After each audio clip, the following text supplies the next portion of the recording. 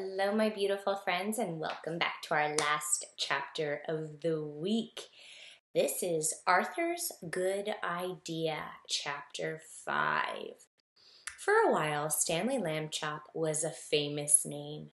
Everywhere that Stanley went, people stared and pointed at him. He could hear them whisper, Over there, Agnes, over there. That must be Stanley Lambchop, the one who caught the sneak thieves, and things like that. But after a few weeks, the whispering and the staring stopped. People had other things to think about. Stanley did not mind. Being famous had been fun, but enough was enough.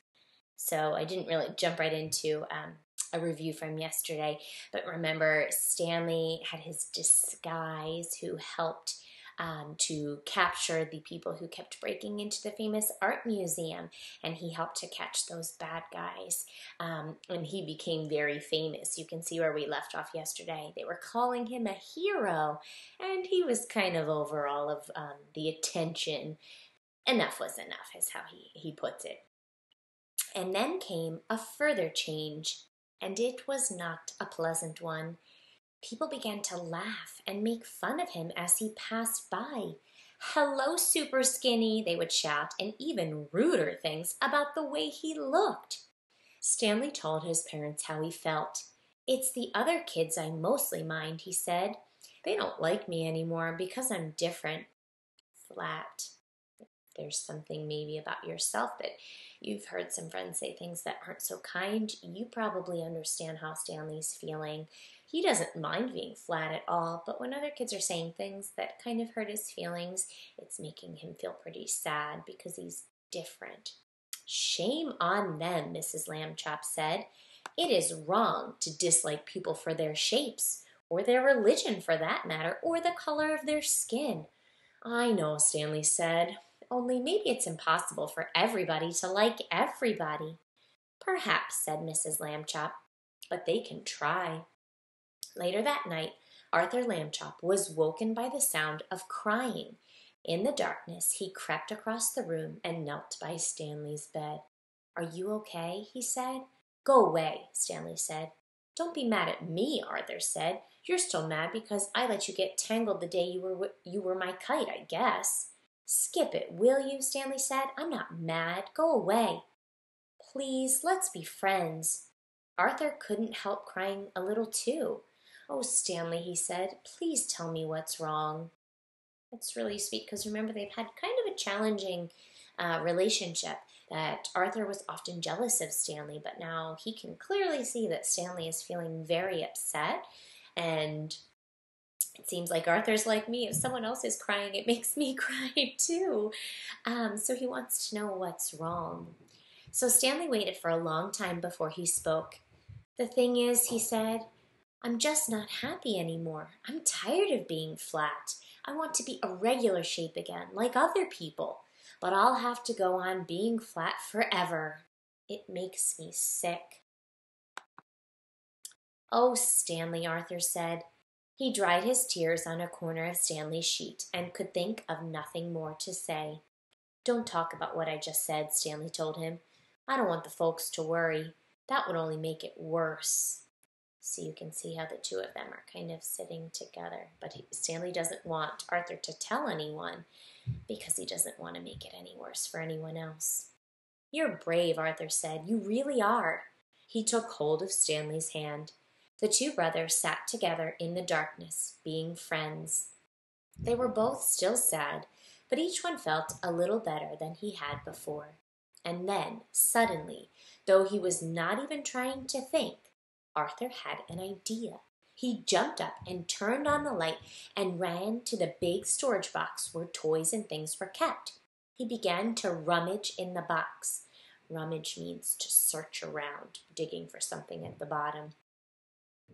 Stanley sat up in bed to watch. Arthur flung aside a football and some lead soldiers and airplane models and lots of wooden blocks, and then he said, Aha! He had found what he wanted and old bicycle pump. He held it up, and Stanley and he looked at each other. Okay, Stanley said at last, but take it easy. He put the end of the long pump hose in his mouth and clamped his lips tightly about it so that no air could escape. I'll go slowly, Arthur said. If it hurts or anything, wiggle your hand at me. He began to pump. At first, nothing happened except that Stanley's cheeks bulged a bit, kind of like uh, chipmunks with um, nuts in his in his cheeks. Arthur watched his hand, but there was no wiggle signal, so he pumped on. Then, suddenly, Stanley's top half began to swell, means get bigger. So they're pumping him up with air.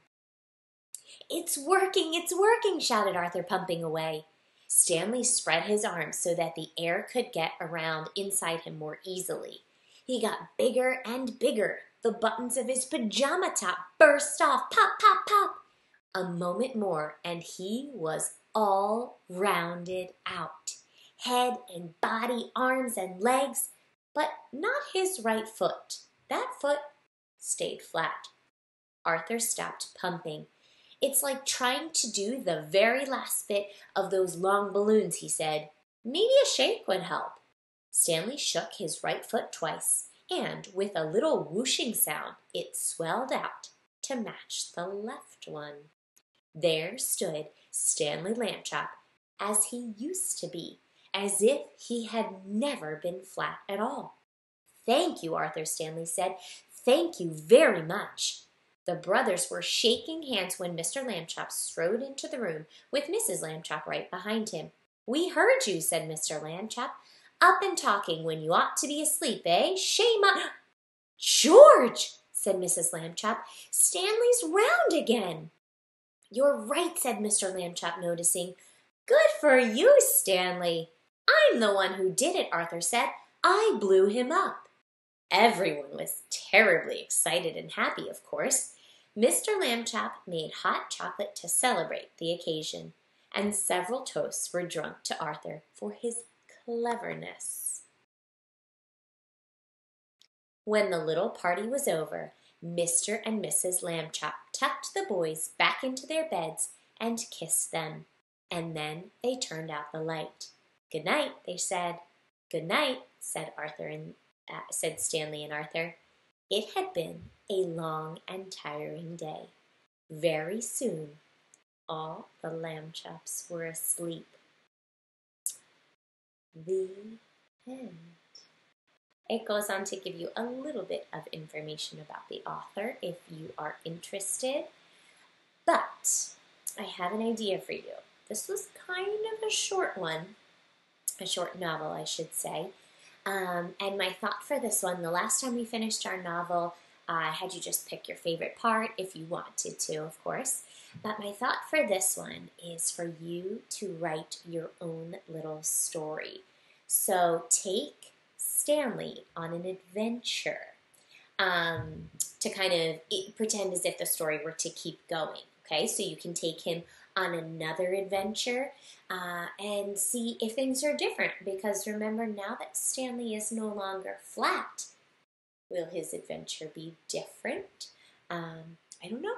That's for you to decide.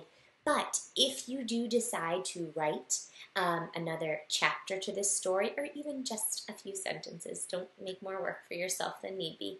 Um, you don't even have to write it with words. You could do it just like a picture, almost like a comic strip, and take Stanley, maybe even Stanley and Arthur, on an adventure just in picture form. But if you choose to do it, please um, take a picture, send it to me because I would love to see it and be able to share with the other teachers as well.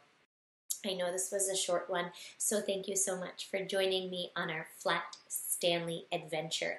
Know that I took this one off of Epic, so if you're not using Epic, really log on there. It's an awesome program that is free, um, that your teachers have already set up for you, that you can use to find thousands and thousands of books. Many of them even read to you. So if you're still a new reader friend, they will read it to you.